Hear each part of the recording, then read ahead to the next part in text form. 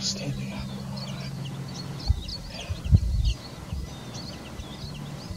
Oh my god.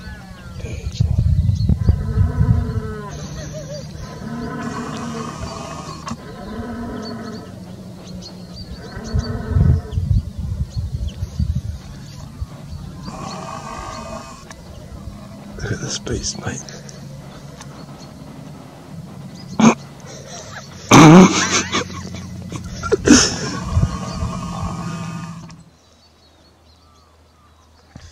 We've um, been hunting for a couple hours now and had a stag going quite well below us. Um, and we thought before we dropped down on him, we'd see see if he'd come out in the open and get a look at him and sort of see what he is.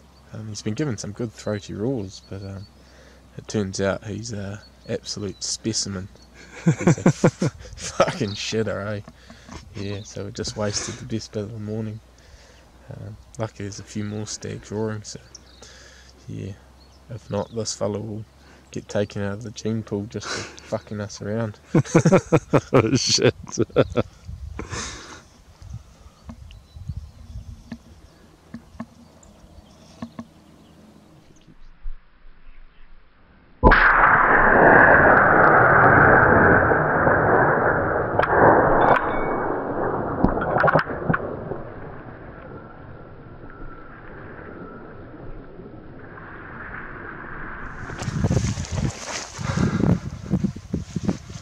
Well, it's been a hard day. First day of the roar. A nice stag just come out. A, uh, what looked to be like about a bloody 10 pointer. I've let out a few roars to see if I could draw him back out. He hasn't come back out. I'm low on light, so I've just taken the uh, the next best option, which was a stag that come out and stood there on a little clearing in amongst the bush. So I don't have my head torch. I've got my knife this time, but I don't have a head torch, so better get cracking. It's going to be a late one without a torch.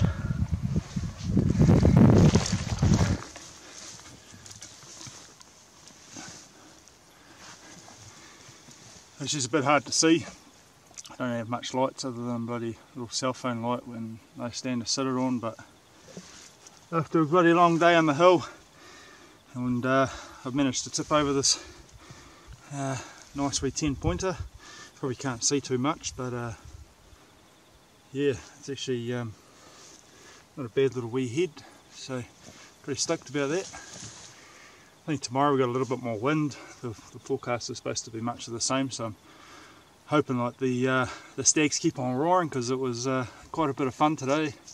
But uh, yeah, this morning was a bit of a waste because we invested so much bloody time in, uh, in one particular stag that sounded awesome. It was gargling away and really throaty and when we finally got up with it, caught up with it, it um, had probably about an inch and a half little hooks that went over. It was an absolute bloody joke. So we left him because we didn't want to disturb it because we know that there's the odd alright one around. So yeah, cut this fella up and and then head out.